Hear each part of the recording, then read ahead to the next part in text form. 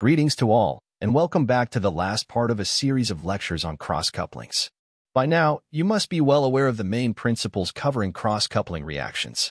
In this section, I will demonstrate selected applications of cross-couplings, including selective multifunctionalization as well as the synthesis of natural products, agrochemicals, pharmaceuticals, and materials. I want to start with a remarkable transformation developed in the group of Catellani. They have found that when a cross-coupling reaction involving aryl halides is conducted in the presence of bicyclic olefins like norbornene, the reaction ends up with the formation of a polyfunctionalized product. Starting from a monofunctionalized aryl halide, it is possible to obtain a 1, 2, 3 trisubstituted arene in good yields and selectivity. To understand what is going on here, one should briefly go through the mechanism of the reaction. The Catellani reaction begins with the oxidative addition of a palladium-0 pre-catalyst to the aryl halide. The generated palladium-2 species undergo an insertion, including norbornene.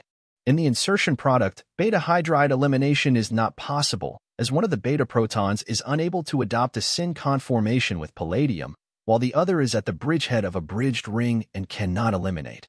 As that would create an sp2 hybridized carbon at the bridgehead, significantly increasing the strain in norbornene. Instead, the inserted norbornene directs palladium to the ortho-CH bond and initiates a regioselective CH activation, which will be discussed in detail in the next module. The formed palladacycle can then undergo another oxidative addition with an electrophilic coupling partner present in the reaction media, forming a palladium-4 intermediate presented here.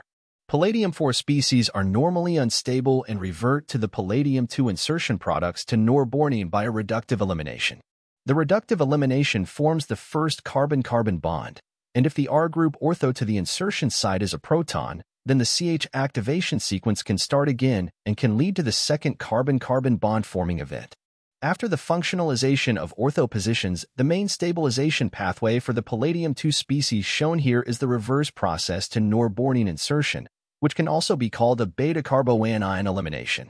Norbornene insertion is a reversible process, which means that it can be used in catalytic quantities.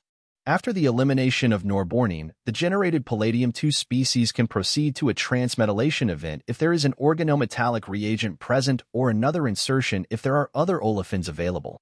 The transmetallation can end with the reductive elimination generating the tri-substituted product and the active pre-catalyst, while olefin insertion can lead to the Heck coupling product and the active pre-catalyst.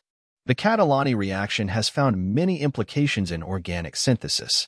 For instance, linoxepin is a polysubstituted aromatic natural product from the lignin family and has long been used for the treatment of pain, rheumatoid arthritis, and warts. The Catellani reaction has proven to be an effective method for the selective polyfunctionalization of arenes used in the synthesis of linoxepin and its analogs. The key step in the total synthesis of linoxepin is presented here.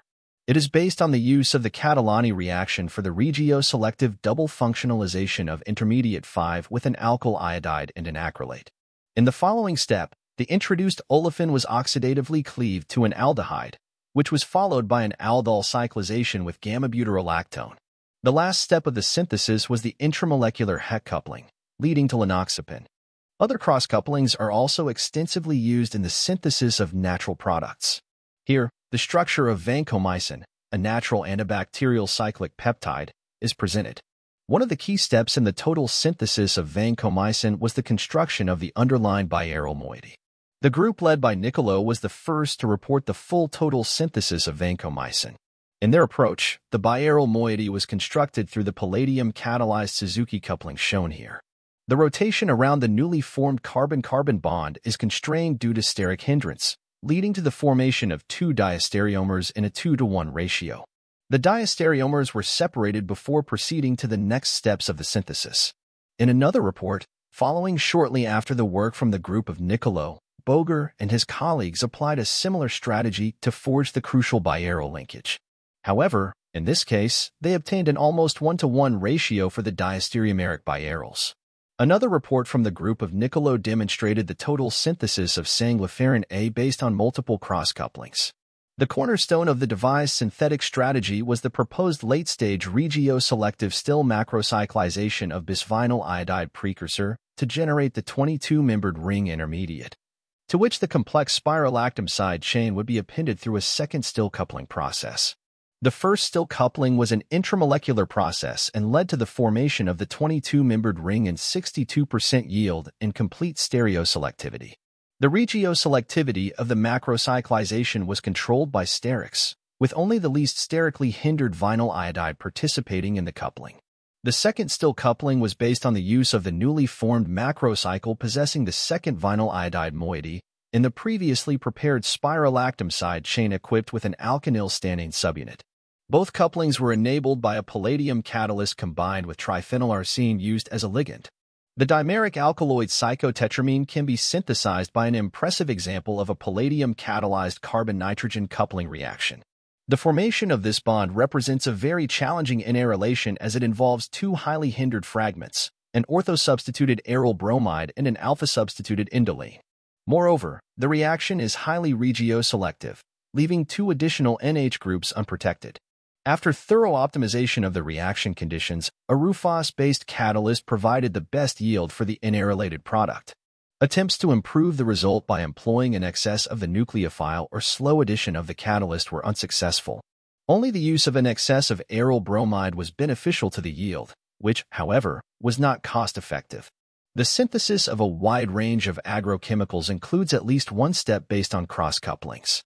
For instance, bixafen is a fungicide developed by Bayer and is used for the treatment and prevention of various leaf diseases. It is produced by a sequence of transformations starting with the palladium-catalyzed Sonogashira coupling presented here. The alkylation is followed by a Diels-Alder reaction to construct the second phenyl ring of the key intermediate in the synthesis. Another elegant route is based on the Suzuki coupling between dichlorophenyl boronic acid and the derivative of 2-bromoacetanilide. The Suzuki coupling is enabled by the tritert-butylphosphine ligand. Bifenazate is an insecticide used for mite control. The synthesis of bifenazate is based on the Buchwald-Hartwig amination, including the derivatives of biaryl bromide and hydrazine. The carbon-nitrogen bond formation is enabled by BINAP combined with palladium acetate. Over the last three decades, cross-couplings have become a reliable and indispensable tool for the synthesis of pharmaceuticals. This development was predominantly influenced by the advancement of modern phosphines, NHC ligands, and preformed catalysts. I want to start with an example of how cross-couplings contribute to the discovery of new antibiotics. For instance, antibiotics based on 4-quinolone as a key structural motif contain a piperazine core. Various modifications to the piperazine core can introduce new chemical, structural, and biological properties into the drug backbone. With this in mind, Beatty and colleagues prepared a number of ciprofloxacin analogs by incorporating derivatives of piperazine into the 4-quinolone backbone. For this purpose, they applied a chemoselective Buchwald-Hartwig amination built on chlorinated 4-quinolones. The cross-coupling reactions occurred most efficiently with BINAP as a supporting ligand. Here is another example reported by Amgen on the multi-kilogram preparation of phthalazine, which is used for the treatment of inflammatory conditions such as rheumatoid arthritis and psoriasis. The key step in the synthesis was based on the Suzuki coupling involving phthalazine chloride and this boronic acid. They managed to obtain the product of the coupling on a 5 kilogram scale with a 90% yield. The main side reaction of the process was the proto-deboronation of the boronic acid, as the reaction was performed in protic solvents. However, this side process could be minimized by the application of S-phos as a ligand. The key intermediate of the synthesis was purified by recrystallization and transformed into the final product through amidation. S-phos is one of the prominent ligands in the field, and the high activity of the catalytic system based on S-phos enabled a very low catalyst loading for this multi-kilogram scale process. Scientists from Pfizer reported the kilogram scale synthesis of the highlighted multifunctionalized arene using multiple Heck couplings. This new drug candidate can be used for the treatment of asthma, unstable angina, deep vein thrombosis, and coronary atherosclerosis. Taking advantage of the difference in reactivity between aryl iodides and aryl bromides under Heck reaction conditions, the researchers from Pfizer chemoselectively coupled this polyhalogenated substrate and ethyl acrylate at the iodide. The product of the first Heck coupling was formed in a 79% yield after crystallization from methanol. GCMS analysis of the crude mixture showed that the yield of the bisacrylation byproduct, formed from the olefination at bromide, was only 0.4%. Subsequently, the product of the first olefination was coupled at the bromide with N-vinyl phthalimide and a second Heck reaction performed at an elevated temperature in xylene used as a solvent. Remarkably, the yields of both Heck couplings were reproducible in the absence of phosphine ligands. Cross couplings are frequently used in the preparation of monomers for the production of value-added polymers. For instance, the highlighted functionalized acrylate can be used to produce self-healing polymers with sensing attributes. The functionalized acrylate was prepared by applying the Buchwald-Hartwig amination between this spirocyclic chlorinated arene and an acrylate possessing an amino group. The reaction was enabled by a palladium catalyst based on Beller's diadamantyl n-butylphosphine. Azaacenes highlighted here are commonly employed as structural core units in numerous organic transistors and organic light-emitting diode materials. Following an approach based on the Buchwald-Hartwig amination involving bisaryl halides and bisanilines, Bunz and colleagues prepared the first stable diazaheptacenes. For this purpose, they applied a highly active preformed palladium catalyst based on RuPhos in the first-generation palladacycle introduced by the group of Buchwald. In another study reported by the group of Kido, the Buchwald-Hartwig amination was used to introduce a series of fluorescent dyes into organic light-emitting diodes.